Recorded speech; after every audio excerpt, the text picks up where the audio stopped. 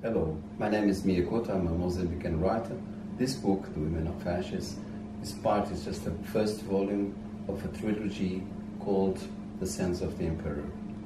The narrator is a small girl of 15 years that is acting as the translator of this emperor and that goes with him to the, emperor, to the island of Azores where he dies. Um, this is more than a historical tale of that African emperor that was the last big emperor of uh, southern Africa. Apparently, this is the story, but this is more than that. This is a saga that suggests how history is made of stories um, and how the written version of the past, which belongs to the, the winners, um, hides different voices and different versions of the same past.